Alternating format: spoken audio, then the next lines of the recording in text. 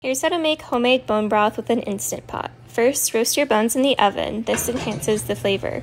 Then add them to your Instant Pot along with some garlic, onions, and any other herbs that you'd like. Cover the bones with water, making sure not to go over the fill line. Add a dash of ACV and then let it pressure cook for 3 to 4 hours. After it's done, filter the broth into jars. See the caption for the full recipe.